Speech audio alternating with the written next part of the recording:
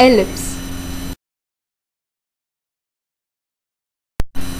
In mathematics, an ellipse is a plane curve that results from the intersection of a cone by a plane in a way that produces a closed curve.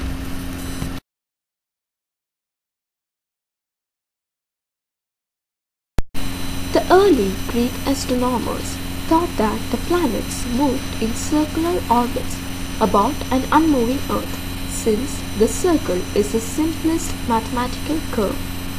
In the 17th century, Johannes Kepler eventually discovered that each planet travels around the Sun in an elliptical orbit with the Sun at one of its foci. The orbits of the Moon and of artificial satellites of the Earth are also elliptical as are the paths of comets in permanent orbit around the Sun. Halley's comet take about 76 years to travel around our Sun. Edmund Halley saw the comet in 1682 and correctly predicted its return in 1759. Although he did not live long enough to see his prediction come true, the comet is named in his honor. On a far smaller scale, the electrons of an atom move in an approximately elliptical orbit with the nucleus at one focus. The ellipse has an important property that is used in the reflection of light and sound waves.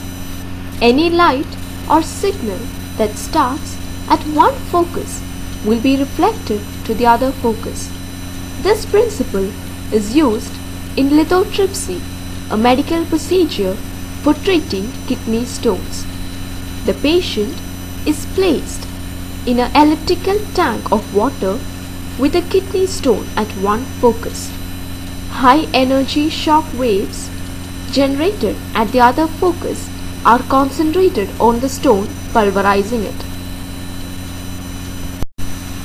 The principle is also used in the construction of whispering galleries, such as in St. Paul's Cathedral in London.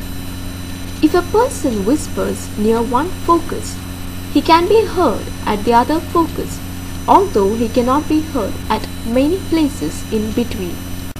Statuary Hall in the US Capitol building is elliptic.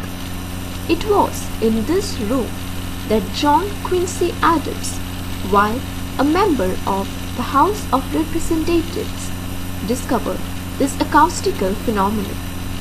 He situated his desk at a focal point of the elliptical ceiling, easily eavesdropping on the private conversations of the other House members located near the other focal point.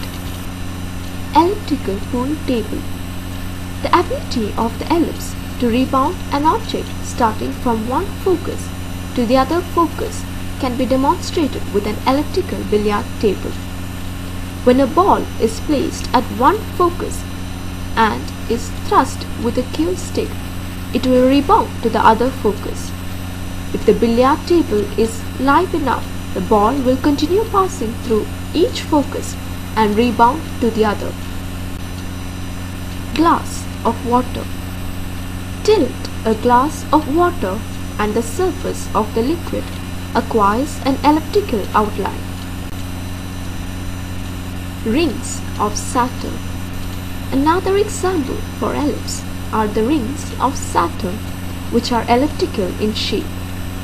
The rings of Saturn are the most extensive planetary ring system of any planet in the solar system. They consist of countless small particles ranging in size from micrometers to meters that form clumps that in turn orbit about Saturn. Roman Colosseum The Colosseum, originally the Flavian Amphitheatre, is an elliptical amphitheatre in the center of the city of Rome, Italy, the largest ever built in the Roman Empire. It is considered one of the greatest works of Roman architecture and Roman engineering. Kepler's first law. orbits are elliptical. With Tycho Brahe's observations, Kepler set out to determine if the paths of the planets could be described with a curve. By trial and error, he discovered that an ellipse with the Sun at one focus could accurately describe the orbit of a planet about the Sun.